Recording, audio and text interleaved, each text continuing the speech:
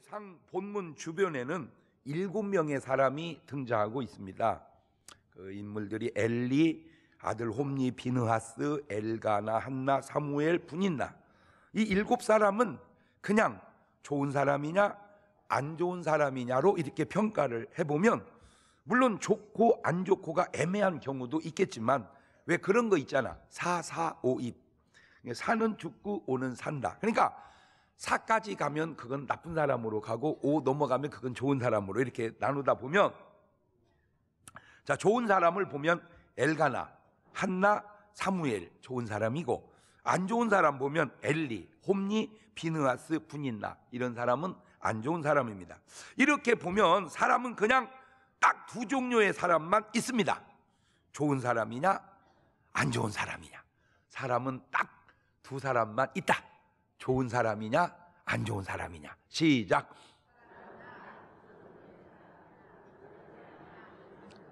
네, 옆 사람한테 한번 물어보셔봐. 집이는 뭔 사람이요?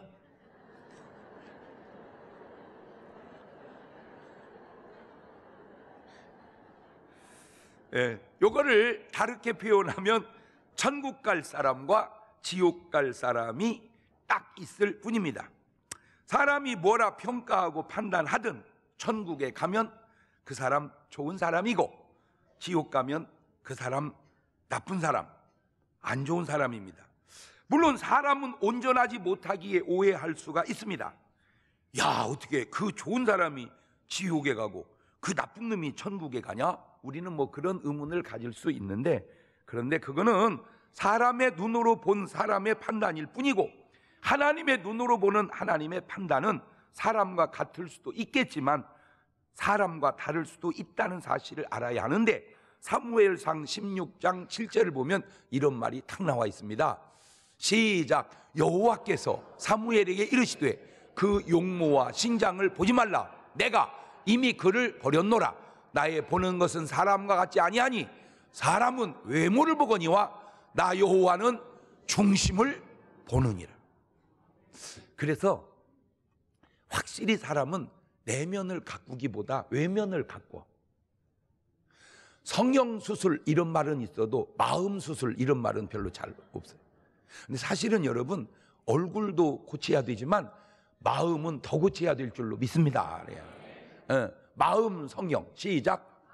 그런데 사실은 이렇게 우리 중문교회 와서 말씀 들으면 이게 성령이 돼 진짜 이거. 예, 이게 마음이 성령이 되는 거예요. 이게 힐링, 치유가 되는 거예요. 이게 예. 물론 이것도 네 박자로 따져봅시다. 중심도 좋고 외모도 좋으면 1등이죠. 중심도 안 좋고 외모도 안 좋으면 4등입니다. 그런데 중심은 좋은데 외모가 안 좋으면 그것이 2등이고 외모는 좋은데 중심이 안 좋으면 그게 3등이니 꼭 부탁드립니다. 좋은 사람이네 나쁜 사람이네 말로 말하지 말고 구원으로 천국으로 가셔서 좋은 사람 되심을 증명하고 사시기를 주의 이름으로 직언합니다. 그래서 내가 말을 만들었잖아요. 천국 가는 나쁜 사람 없고 지옥 가는 좋은 사람 없다. 시작. 그러니까 무조건 천국 가면 그 사람 뭐한 사람이요? 좋은 사람이요. 무조건 지옥 가면 그 사람 뭔 사람이요? 그럼 그 오해는 우리가 몰라서 하는 것이 정확하게 보시는 하나님이 가장 정확하게 하실 테니까 더 얘기할 거 없어. 좋네, 나쁘네, 할거 없어. 그냥 천국 감으로 좋은 사람 되시기를 주의 이름으로 축원합니다. 이 좋은 사람과 좋지 않은 사람의 차이 가운데 나타나는 현상이 있습니다. 첫째는 이 하나님과 소통이 되면, 다시 말해, 하나님과 기도가 되면 좋은 사람이고, 하나님과 소통이, 기도가 안 되면 그 사람은 나쁜 사람일 확률이 높습니다. 잘 생각해 보십시오. 아담이 범죄하기 전에는 말 바꾸면 좋은 사람이었을 때는 하나님과 소통이 잘 되었습니다. 그런데 선악과를 따먹고 범죄한 후에는 말을 바꾸면 나쁜 사람이 된 후에는 하나님하고 소통이 안 되는 거예요. 자, 한번 찾아볼까요? 창세기 2장 15절입니다. 시작. 여호와 하나님이 그 사람을 이끌어 에덴 동산에 두사 그것을 다스리며 지키게 하시고 여호와 하나님이 그 사람에게 명하여 가라사대 동산 각종 나무의 실과는 네가 임으로 먹되 선악을 알게 하는 나무의 실과는 먹지 말라. 네가 먹는 날에는 정령 죽으리라 하시니라. 저 말을 가만히 보면 하나님이 아담을 인도할 때 아담이 따라가고 이렇게 말할 때 듣고 뭐가 돼? 하나님과 뭐가 돼? 지금 소통이 되는 거예요. 이, 이- 이때 아담은 좋은 사람이었어요. 그런데 범죄하고 나니까 창세기 3장 8절 보면 시작. 그들이 날이 서늘할 때 동산에 거니시는 여호와 하나님의 음성을 듣고 아담과 그 아내가 여호와의 하나님의 낯을 피하여 동산 나무 사이에 숨어버린지라. 지금 하나님하고 아담과 하와하고 뭐가 안 되는 거예요 지금? 소통이. 소통이 안 되는 거예요. 왜 소통이 안 되는 거예요? 범죄한다고. 여기서 아셔야 될 게 하나님과 소통이 안 되면 그냥 안 되고 마는 게 아니라 본인이 알든 모르든 마귀와 소통이 되고 있다는 사실을 알아야 됩니다. 하나님과 소통이 되면 마귀하고 소통이 안 되고 하나님과 소통이 안 되면 마귀하고 소통하는 것이다. 시작.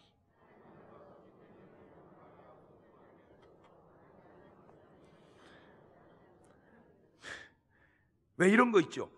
목사님, 저는요, 천국도 안 가지만 지옥도 안 갑니다. 그런데 그게 지옥이라니까. 목사님, 저는 하나님과도 소통을 안 하지만 마귀와도 소통을 안 합니다. 그게 바로 마귀하고 소통하고 있는 거라니까. 자, 그러면 하나님과 기도로 소통이 되는 좋은 사람들 보면 그게 누구냐? 한나입니다. 한나. 첫째 한나.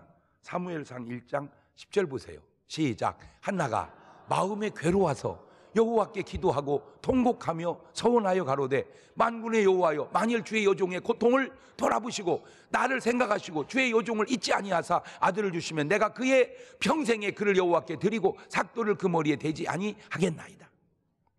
사무엘상 2장 1절 이하에도 시작. 한나가 기도하여 가로되 내 마음이 여호와를 인하여 즐거워하며 내 뿔이 여호와를 인하여 높아졌으며 내 입이 내 원수들을 향하여 크게 열렸으니 이는 내가 주의 구원을 인하여 기뻐함이니이다.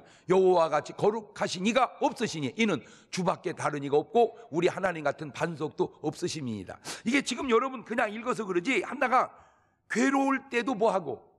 기도하는 괴로울 때 술 먹은 게 아니에요 괴로울 때 뭐 했다고요?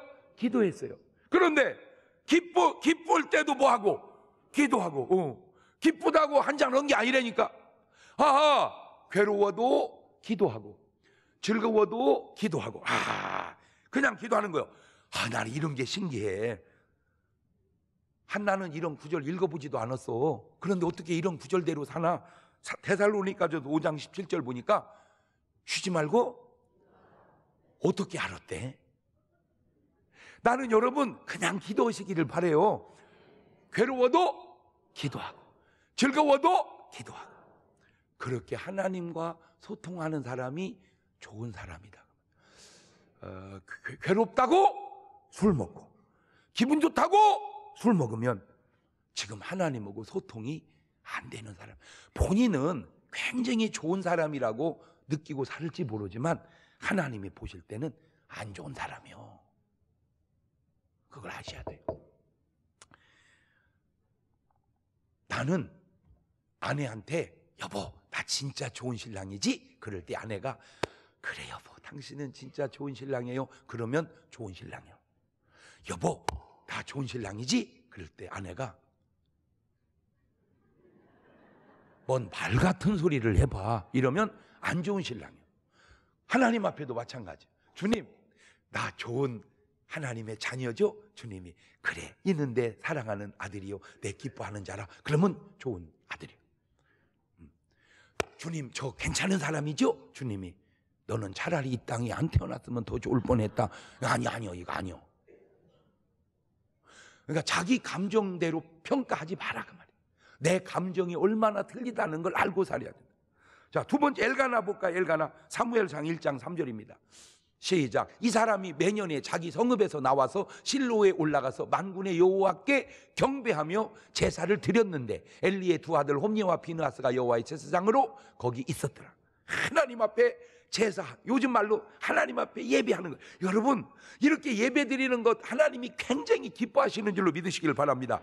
자, 사무엘 볼까요? 사무엘상 12장 23절입니다. 나는 너희를 위하여 기도하기를 쉬는 죄를 여호와 앞에 결단코 범치 아니하고 선하고 의로운 도로 너희를 가르칠 것이라.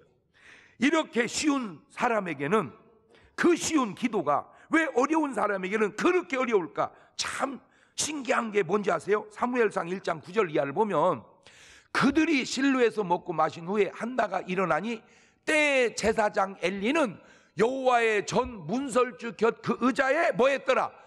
앉았더라. 아니 앉아 있느니 뭐 하겠어? 그렇지. 그런데 안 돼 기도가. 너무 놀라운 건 이렇게 우리가 쫙 기도하잖아요. 그 말하고 이렇게 쫑알쫑알쫑알 기도하는 사람이 있고 어떤 사람 눈 뜨고요. 아, 그 신기해요. 신기해요. 아이, 눈 뜨고 구경하느니 말해도 그냥 한마디 해보겠어. 하나님 어떠세요? 하나님 어떻게 하고. 그게, 아, 그 신기해요. 기도할 때 같이 기도하지 못하고 그래서 깨달아서 기도는 그냥 하는 게 아닙니다. 하나님과 관계가 회복되어야 기도가 되는 겁니다. 홈리와 비누아스도 볼래요? 사무엘상 1장 3절입니다. 이 사람이 매년에 자기 성읍에서 나와서 실로에 올라가서 만군의 여호와께 경배하며 제사를 드렸는데 엘리의 두 아들 홈리와 비누아스 여호와의 제사장으로 거기 있었더라. 아니 거기 있느니 뭐 하겠어요? 근데 너무 신기한 게 뭐냐면 아내가 여보 왜 나 교회가 태워다 주 그러면 태워다 주고 안 들어와. 어 신기해. 어 신기해. 태워다 주고 뭐 하면 좋으련만 들어와서 예배 드리면 아 그래 놓고 이 사람은 이렇게 생각합니다. 나 좋은 사람이지. 왜? 태워다 줬잖아. 태워다 준 것까지는 사사오입이야. 태워다 준 것까지는 사야 사사사. 들어와야 오오오오오오. 그래도 태워다 줬잖아. 그렇지. 태워다 준 것 같고 천국까지는 못합니다. 아 신기해요. 아예 안 태워다 주는 사람은 아예 안 태워다 줬는데 어떻게 태워다 줘놓고 안 들어올까? 아 신기해요. 자 들어왔어, 들어왔어, 들어왔어, 들어왔는데 다 기도해요. 그 기도하면 훌륭해요. 근데 다 기도하는데 눈 뜨고 이렇게 쳐다봤다가 저렇게 쳐다봐. 아 신기해요. 보세요. 좋은 사람 기도하는 사람입니다. 안 좋은 사람 기도하지 못하는 사람입니다. 더 말할 거 없습니다. 기도하는 사람이 좋은 사람입니다. 하나님과 소통하는 사람이 좋은 사람입니다. 그래서 하나님은 이렇게 말씀합니다. 예레미야 33장 3절에 시작. 너는 내게 부르짖으라. 내가 네게 응답하겠고 네가 알지 못하는 크고 비밀한 일을 내게 보이리라. 마태복음 7장 7절 이하에도 구하라. 그러면 너희에게 주실 것이요. 찾으라. 그러면 찾을 것이요. 문을 두드리라. 그러면 너희에게 열릴 것이니 구하는 이마다 얻을 것이요. 찾는 이가 찾을 것이요. 두드리는 이에게 열릴 것입니다. 꼭 기도하는 사람 되시기를. 그래서 좋은 사람 되시기를 주의 이름으로 축원합니다. 나는 기도함으로 좋은 사람이 되리라. 그게 우리가 해야 할 다짐입니다. 시작.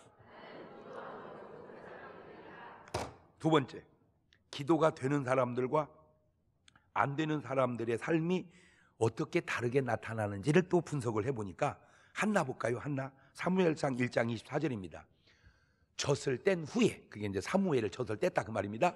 그를 데리고 올라갈새 수소 셋과 가루 한 에바와 포도주 한 가죽 부대를 가지고 실로 여호와의 집에 나아갔는데 아이가 어리더라. 세상에 그 어린 아이를 하나님께 지금 드리는데 왜 곡해 주면 드리겠다고 서원했으니까 그냥 애만 드리기도 그 어려울 텐데 요즘 말로 감사헌금을 다 붙여가지고 하나님께 자식을 다 드리는 거야. 하, 신기해. 신기해. 자, 사무엘상 1장 28절입니다. 이 아이를 위하여 내가 기도하였더니 여호와께서 나의 구하여 기도한 말을 허락하신지라. 그러므로 나도 그를 여호와께 드리되 그의 평생을 여호와께 드리리다 하고 그 아이는 거기서 여호와께 경배하니라. 야, 이 살아가는 삶이 기도만 훌륭한 게 아니라 모두 훌륭해. 아, 기도만 훌륭한 게 아니라 삶도 훌륭해. 예. 자, 엘가나, 엘가나도 볼까요? 그 한나 남편이 엘가나입니다. 사무엘상 1장 8절입니다. 시작. 그 남편 엘가나가 그에게 이르되 한나여 어찌하여 울며 어찌하여 먹지 아니하며 어찌하여 그대의 마음이 슬프뇨 내가 그대에게 열 아들보다 낫지 아니하냐 잘 보세요 애를 못 낳는 여자입니다 그래갖고 괴로웁니다. 그 여자를 향하여 남편이 하는 말입니다. 여보 울지 마. 내가 당신한테 열 아들보다 더 낫잖아. 이런 남자 참 좋은 남자입니다. 못된 남자. 애도 못 낳는 것이 뭘 질질 짜고 아주 나쁜 놈입니다. 애를 못 낳는다는 걸 혼낼 줄만 알았지. 그 여자의 아픔을 못 느끼. 아, 나는요, 참 진짜 사람이 다양하다. 어떤 분이 저한테 책하고 편지를 보내왔어요. 내가 바빠서 못 보다가 그 편지를 읽어봤어요. 그랬더니 그분은요, 동물, 동물 애호가더라고. 목사님, 저는 힘이 없어서 말을 못하지만 목사님은 영향력 있으니 말 좀 해주세요. 어떻게 사람이 개를 잡아서 먹을 수가 있어요?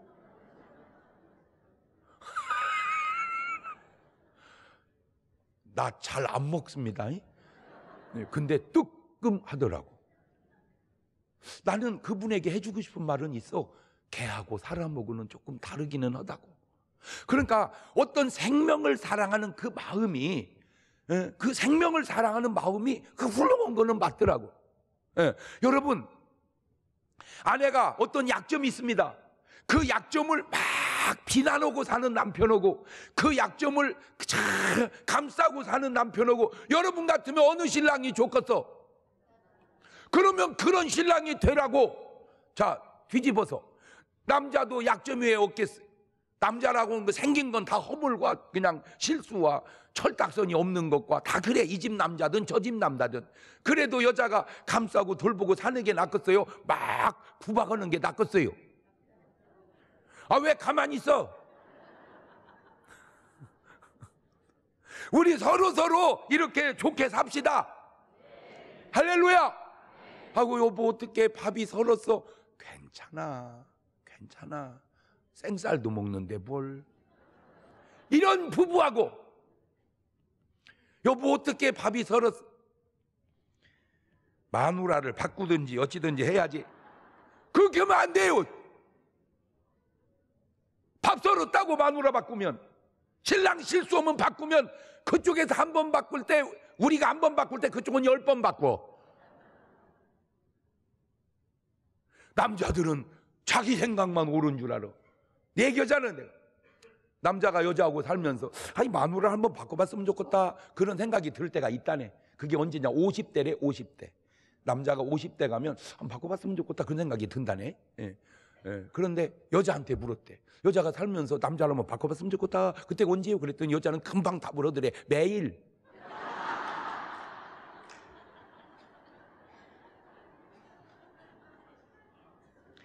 애 못 낳는 아내에게 베푸는 이 친절 보세요. 참 좋은 사람입니다. 이런 사람을 크리스찬이라 그러는. 자, 사무엘 볼까요? 사무엘상 2장 18절입니다. 사무엘이 어렸을 때 세마포 에옷을 입고 여호와 앞에 섬겼더라. 그 어린 것이 요즘 말로 말하면 가운 탕 입고 하나님 어린 것이 성경. 그런데 못된 사람들, 못된 사람들 하는 짓거리 한번 볼래요? 예, 해당이 되면 회개하셔야 됩니다. 분인 납니다. 분인 나. 어? 분인 나 사무엘상 1장 6절입니다. 여호와께서 그로 성토치 못하게 하심으로 그 대적 분인 나가 그를 심히 격동하여 번민케 하더라. 매년에 한나가 여호와의 집에 올라갈 때마다 남편이 그가 잠에 분인 나가 그를 격동시키므로 그가 울고 먹지 아니하니 그렇죠. 지는 애 낳고 못 낳는다고 그걸 그렇게 괴롭히는 거예요. 사람 괴롭히지 마세요. 사람 괴롭히지 마세요. 시작. 옆 사람한테 얘기해 주세요. 사람 괴롭히지 맙시다. 옳지 시작.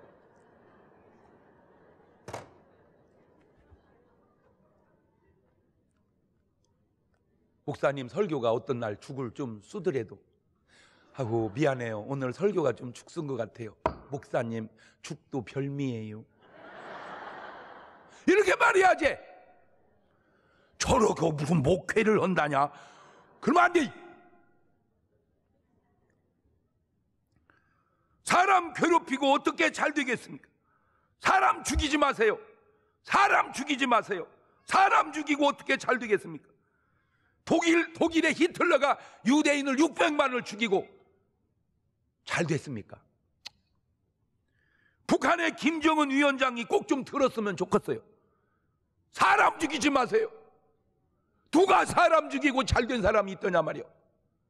짐승만 죽여도 마음이 그렇거늘 사람을 죽이면 그 마음이 어찌할까? 갈라디아 6장 7절 이하를 보세요. 스스로 속이지 마라. 하나님은 만우리 여김을 받지 아니하시나니 사람이 무엇으로 심든지 그대로 거두리라. 자기의 육체를 위하여 심는 자는 육체로부터 썩어진 것을 거두고 성령을 위하여 심는 자는 성령으로부터 영생을 거두리라. 엘리를 볼까 엘리 사무엘상 1장 9절입니다. 그들이 실로에서 먹고 마신 후에 한나가 일어나니 때 세상 엘리는 여호와의 전 문설주 곁그 의자에 앉았더라. 그 의자에 앉아서 뭐 하는 거요? 그냥 기도하지. 아잖아. 아 제사장이 교인은 기도하는데 제사장이 앉아 있어 그냥 앉아 있어 그냥 의자에 앉아 있어. 응. 그래서 그런가 보다 그랬어. 그랬더니 사무엘상 4장 18절입니다. 하나님의 괴를 말할 때 엘리가 자기 의자에서 자빠져 문 곁에서 목이 부러져 죽었으니 나이 많고 비둔한 영고라. 그가 이스라엘 사다가 된 지 40년. 그냥 계속 앉아 있다 죽은 거예요. 그냥 앉아 있다가 앉아 있다가 앉아 있다가 그 물론 앉아 있어도 필요하지. 그렇지만 계속 앉아 있는 건 뭐예요? 그렇지 않아요? 그러니까 또 살찌지. 살찌니까 앉아있고 앉아있니까 살찌고 살찌고 앉으니까 악순환이니까 악순환 걸어다니까 빠지고 빠지니까 걸고 걸고 빨고 빠지고 빠지고 선순환 아니 나는 모르겠어요. 앉아 있느니 기도하고 있어요 그냥. 앉아서 아파치. 아파치. 이렇게 기도. 흔들 흔들 흔들 흔들. 그게 뭐 하는지. 홉니와 비느하스 볼까요? 예, 사무엘상 2장 12절입니다. 엘리의 아들들은 불량자라 여호와를 알지 아니하더라. 그 보세요. 하나님을 모르는 거야. 제사장이 하나님을 모르는 거야. 요즘 말로 가져오면 목사가 하나님을 모르는 거야. 사무엘상 2장 17절입니다. 이 소년들의 죄가 여호와 앞에 크면 그들이 여호와의 제사를 멸시합니다. 제사장이 제사를 멸시하면 어떻게 하자는 목사가 예배를 멸시하면 어떻게 하자는 사무엘상 2장 22절 이하입니다. 엘리가 매우 늙었더니 그 아들들이 온 이스라엘에게 행한 모든 일과 회막 문에서 수종드는 여인과 동침하였음을 듣고 그들에게 이르되 너희 곧자여 이런 일을 하느냐 내가 너희의 악행을 이 모든 백성에서 듣노라 사람이 범죄하고 타락하면 그냥 그렇게 사는 게 아니라 전쟁이 납니다. 자 몸에서 나는 전쟁을 질병이라고 하고. 그러니까 질병도 뭐냐? 전쟁이에요 몸의 전쟁. 그래서 왜 고름이 생기죠? 그 고름이 뭔지 아세요? 백혈구가 전사한 걸 고름이라고 그래요. 그러니까 짤 때 그냥 어 들어 그지 말고 전우야 잘 가라. 이렇게 짜야 돼요. 왜? 내 몸에 들어온 병균하고 막 싸워서 전사한 걸 고름이라고 그런다 그 말이에요. 그러니까 그냥 이거 뒤로 이지 말고 전우야 잘 가라. 나를 위해서 이렇게 목숨을 버렸구나.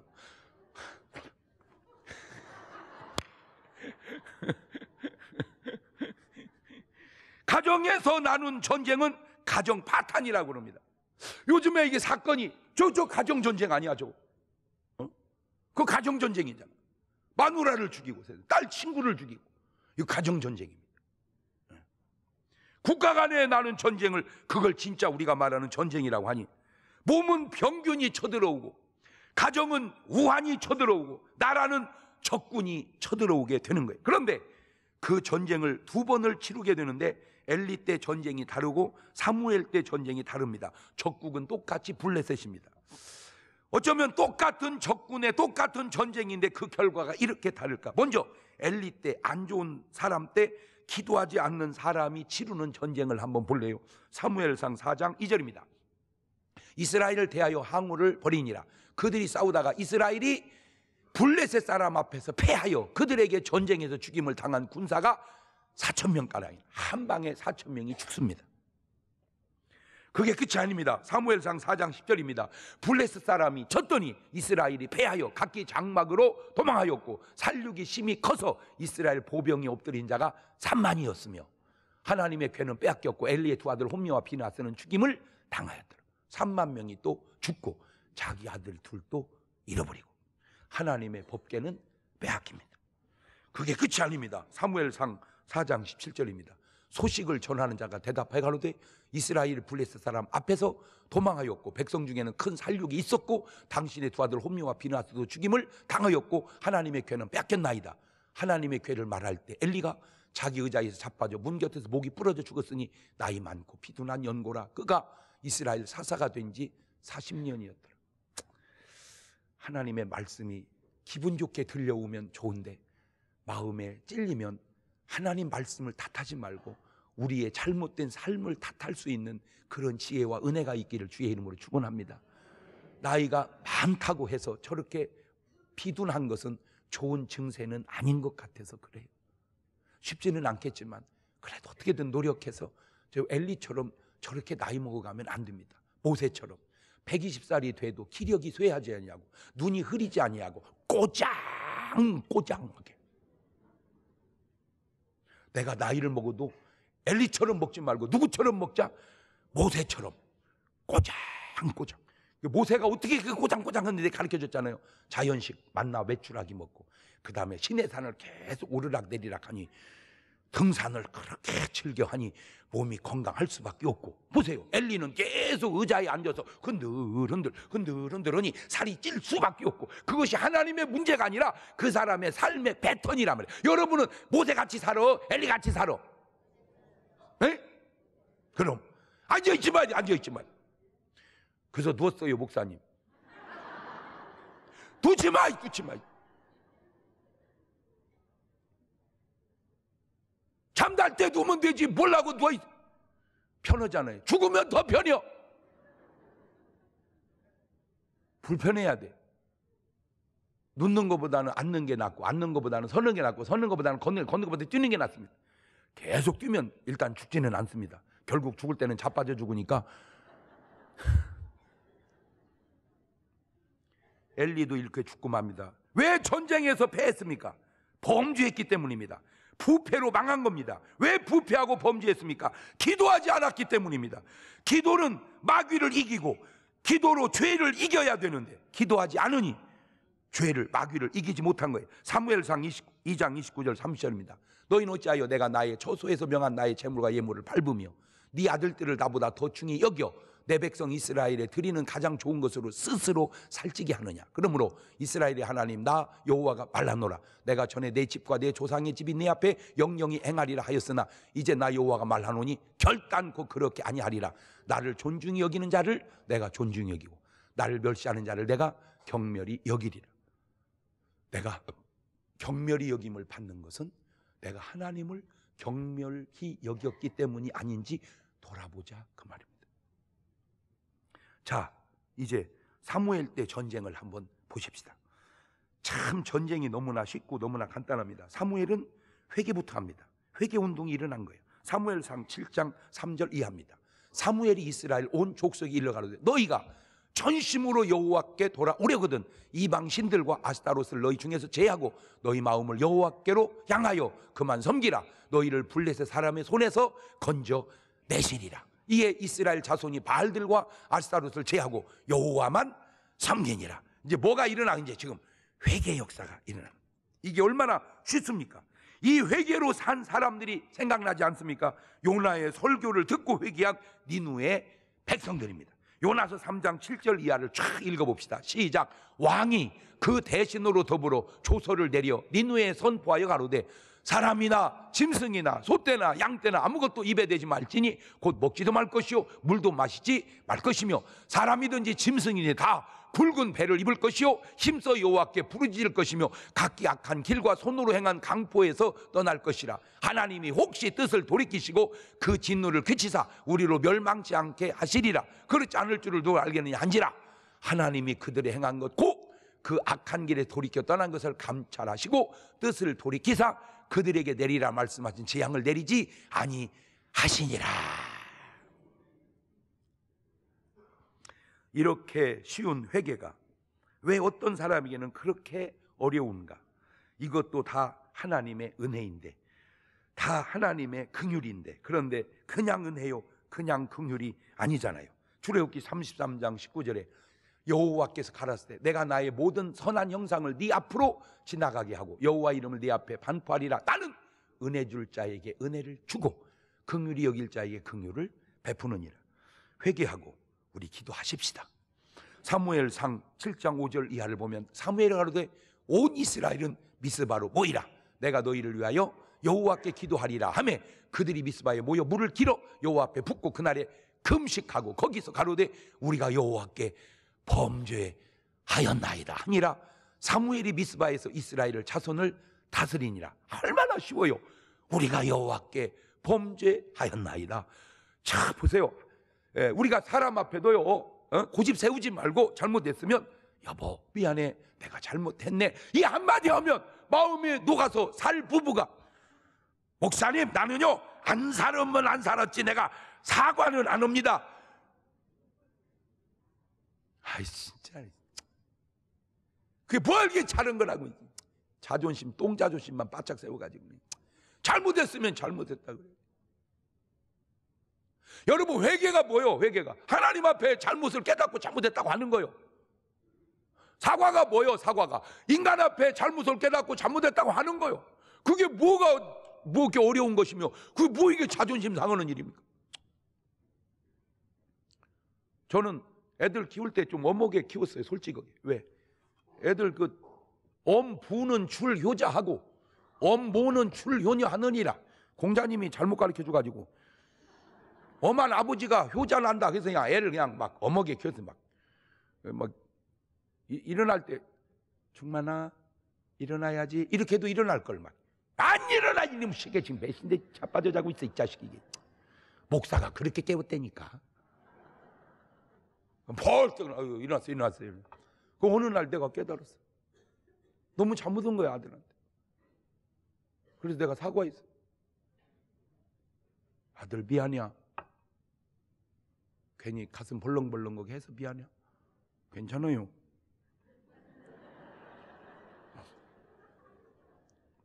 그럼 이제 그다음부터 일찍 일어나야 될 거 아니야. 사과했는데도 안 일어나 근데 이제 내가 달라졌어. 전에는 막 소리 빽 질러서 깨웠는데 이제는 그냥 덮쳐버려. 하나님 우리 아들 일어나야 되는데 피곤한 것 같아요. 차라리 이 피곤을 저를 주시고 우리 아들은 새 힘이 넘치게 해주세요. 밑에서 그래요. 아버지 일어날 거예요.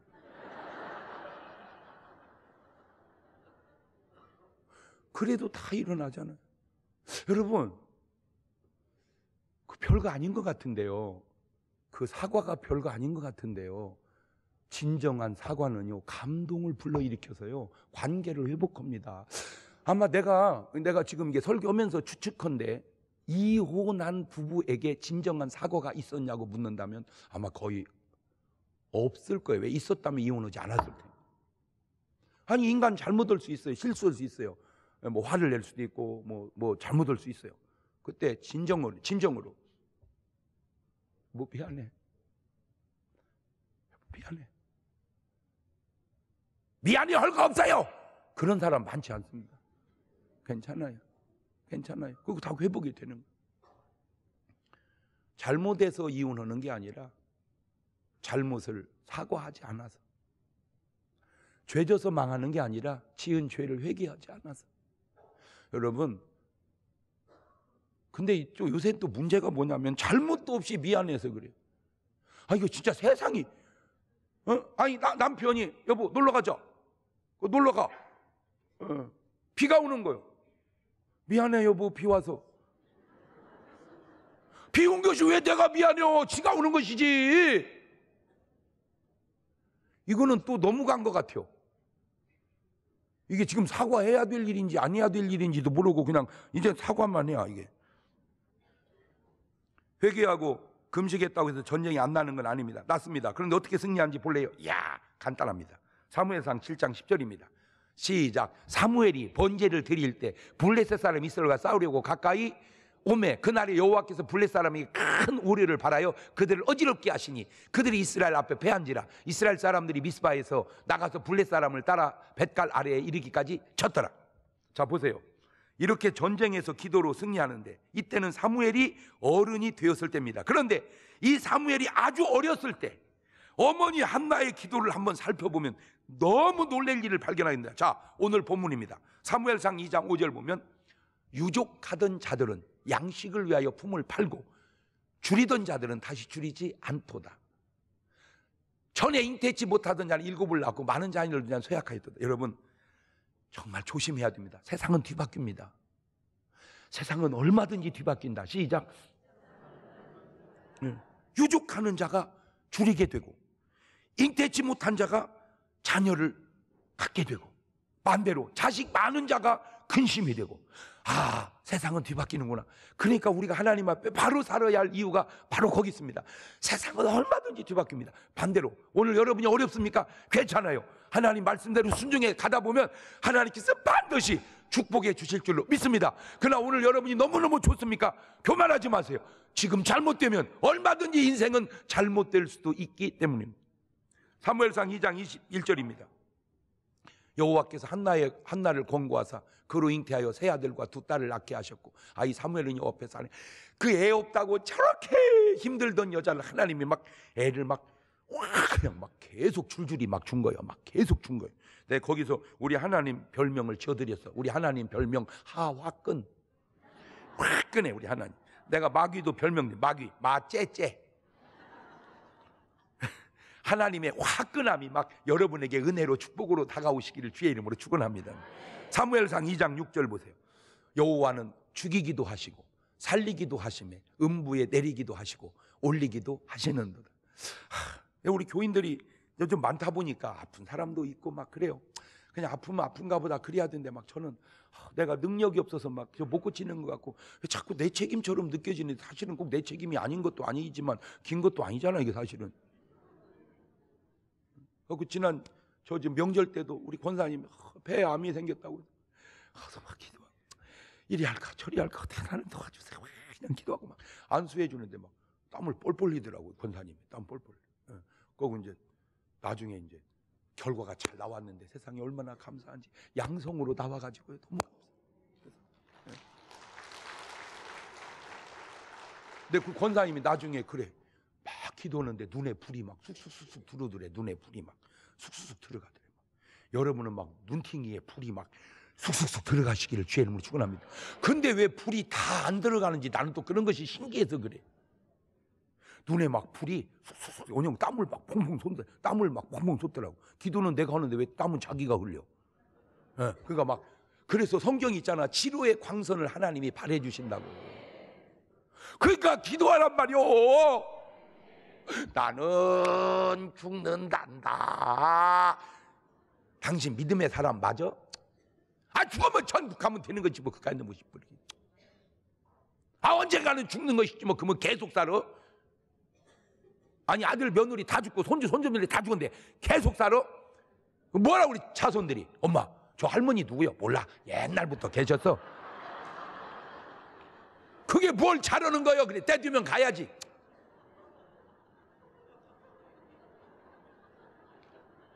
뭐 목사님은 말을 이랬다 저랬다 해요. 그게 뭐가 이랬다 저랬다요? 상황을 맞춰서 하는 말이지. 맞아요, 틀려요. 하나님이 살리기도 하시고 하나님이 뭐하도 죽이기도 하시니 하나님께 기도해서 하나님 살려주시면 사는 것이고 아니면 그냥 오라 하시는가 보다 그냥 가는 것이고 믿음으로 받아들이는 정도의 믿음은 있어야지 말이에요. 안 살려주시면 교회 안 나갈 거예요. 예, 이런 수원 사무엘상 2장 6절입니다. 여호와는 가난하게도 하시고 부하게도 하시며 낮추기도 하시고 높이기도 하시나니 죽고 사는 것이 사람의 소관이 아니라 하나님 소관이고 2장 10절입니다. 여호와를 대적하는 자는 산산이 깨어질 것이라 하늘 우리로 그들을 치시리로다. 근데 이미 하나님은 수십 년 전에 한나의 기도 속에 하나님이 블레셋을 어떻게 멸할까를 다 알려주다. 자, 다시 한번 읽어볼게요. 사무엘상 2장 10절입니다. 여호와를 대적하는 자는 산산이 깨어지고 하늘 우리로 그들을 치시리로다. 저 때는 사무엘이 어렸을 때입니다. 어렸을 때 엄마가 기도하다가 받은 응답입니다. 그런데 사무엘상 7장 10절입니다. 사무엘이 번제를 때 블레 사람 이 스라엘과 싸우려고 가까이 오매 그날에 여호와께 블레 사람의 큰 우리를 바라여 그들을 어지럽게 하시니 그들이 이스라엘 앞에서 패한지라. 저거는 사무엘이 어른 됐을 때입니다. 수십 년 전에 벌써 하나님은 한나의 기도 속에 전쟁을 아들이 어떻게 이길 거를 가르쳐 주었으니 전쟁 속에서도 왜 기도해야 하는지를 이제 아시겠죠? 에이 목사님 아주 순진한 이야기여시네. 아 지금 전쟁이 기도만 한다고 됩니까? 이런 더 순진한 얘기하고 있네. 제가 지금 기도만 하면 된다는 얘기요? 그러면 군인은 뭐 하는 거요? 그러면 무기는 뭐 하는 거고? 군대와 무기만 갖고 싸우는 게 아니라 그 안에 뭐가 들어가 줘야 돼? 하나님의 역사가 아무리 무기가 많고 에? 아무리 그래도 사람이 잘못되면 이길 수 없다는 게 전쟁의 성패는 여호와께 달려 있다는 말이라 사무엘상 17장 47절입니다. 또 여호와의 구원하심이 칼과 창에 있지 아니함을 이 무리로 알게 하리라. 전쟁은 여호와께 속한 것인즉 그가 너희를 우리 손에 붙이시리라. 어, 이 다윗도 어떻게 전쟁을 승리한 줄 아세요? 사무엘상 23장 4절 이하입니다.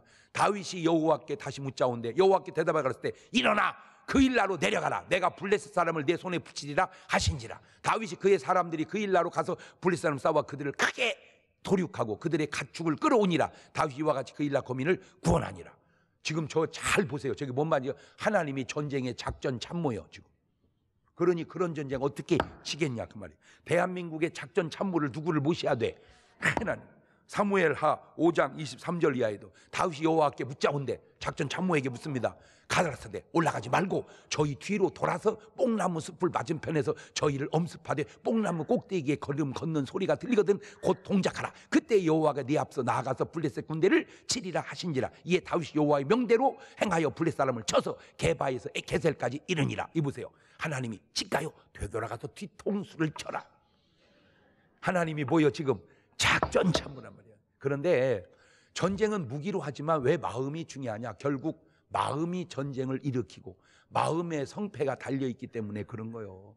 그래서 우리가 무슨 김정은 위원장이 이뻐서 기도하는 게 아니고 하나님 그 마음은 꼭 붙잡아 주셔야 남북한이 평화로우니까 기도하는 거요. 할렐루야. 응. 그냥 하나님께서 그냥 강권적으로 역사해가지고 막 혀가 말려버리고 막 벼락 한 방 맞아가지고 회기 역사 일어나면 남북 통일이 그냥 순식간에 아유, 이런 얘기하면 흥분도 안 돼. 이렇게 하면 못 이길 전쟁이 어디 있겠냐. 사무엘라 5장 10절에도 만군의 하나님 여호와께서 함께 계시니 다윗이 점점 강성하여 가니라. 그 다윗이 점점 거기를 대한민국이 점점 강성하여 가니라. 누가 함께 하시니? 바로 그 얘기입니다. 세계는 지금 우리 대한민국을 아주 위험하게 보고 있습니다. 그런데 우리는 별 의식이 없습니다. 무엇든 다 장단점이 있습니다. 너무 도, 동요되는 것도 문제지만 너무 무사태평한 것도 조심스러운 것이 아닌가. 하나님은 말씀하십니다. 베드로전서 5장 7절 이하에 너희 염려를 다 죽게 맡겨버리라. 이는 저가 너희를 권고하심이니라. 그리고 염려 맡기고 헬렐레 하고 있으면 되겠느냐? 근신하라. 깨어라. 너희 대적 마귀가 우는 사자같이 두루 다니며 삼킬 자를 참나니 너희는 믿음을 굳게 하여 저를 대적하라. 이는 세상인 너 형제들도 동일한 고난을 당하는 줄을 알미니라. 모든 은혜 하나님 곧 그리스도 안에 너희를 부르사 자기 영원한 영광에 들어가시니까 잠깐 고난 받은 너희를 진히 온전케 하시며 굳게 하시며 강하게 하시며 더를 견고케 하시리라. 요즘에 유튜브에 떠드는 글 가운데 아주 제가 감동적인 글을 읽어서 여러분에게 읽어드립니다. 우리 이어령 씨 예수 믿은 지도 얼마 안 되는데 어쩜 이렇게 기도를 훌륭하게 잘하는지 목사가 들은 도 아주 그 기도가 감동적이기에 한번 잘 들어보세요. 하나님, 당신은 이 나라를 사랑합니까? 한국은 못난 조선이 물려준 척박한 나라입니다. 지금 백척간도 벼랑 끝에 있습니다. 그곳에는 선한 사람들이 살고 있습니다. 해지고 구멍나 비가 새고 고칠 곳이 많은 나라입니다. 버리지 마시고 절망으로부터 희망의 날개를 달아 주옵소서. 어떻게 여기까지 온 사람들입니까? 험난한 기아의 고개에서도 부모의 손을 뿌리친 적이 없습니다. 아무리 위험한 전란의 들판이라도 등에 업은 자식을 내려놓지 않았습니다. 남들이 앉아 있을 때 걷고 그들이 걸으면 우리는 뛰어왔습니다. 숨가쁘게 달려와 이제 의식주 걱정이 끝나는 날이 눈앞인데 그냥 이대로 추락할 수는 없습니다. 우리는 지금 이 벼랑인 줄도 모르는 사람들입니다. 어쩌다가 북한이 핵을 만들어도 우리는 놀래지 않고 수출액이 5천억 달러를 넘어서도 웃지 않는 사람들이 되었을까요? 거짓 선지자들을 믿은 죄입니까? 남의 눈치보다 길을 잘못 든 탓입니까? 정치의 기둥이 조금만 더 기울어도 시장 경제의 지붕에 구멍 하나만 더 생겨도 법과 안보의 울타리보다 집 없는 자들의 키가 한 치만 더 높아져도 그때는 천인 천원 에, 천한 단계의 나라입니다. 비상에는 비상해야 합니다. 싸움밖에 모르는 정치인들에게 비둘기의 날개를 달아주시고 살기 팍팍한 시민에게는 독수리의 날개를 달아 주옵소서. 주눅들은 기업인들에게는 갈매기의 비행을 가르쳐 주시고 진흙바닥의 지식인들에게는 구름보다 높이 나는 종달새의 날개를 보여 주옵소서. 그들을 날개 하옵소서. 뒤처진 자에게는 제비의 날개를, 헐벗은 사람에게는 공작의 날개를, 홀로 사는 노인에게는 학과 같은 날개를 주시옵소서. 그리고 남남처럼 되어가는 가족에게는 원앙새의 깃털을 내려 주옵소서. 이 사회가 갈등으로 더 이상 찢기기 전에 기러기처럼 나는 법을 가르쳐 주옵소서. 소리를 내어 서로 격려하고 선두의 자리를 바꾸어가며 대열을 이끌어가는 저 따스한 기러기처럼 우리 모두가 그렇게 날게 하옵소서. 그래- 그래서 이 나라를 사랑하게 하옵시고 지켜 주시옵소서. 야.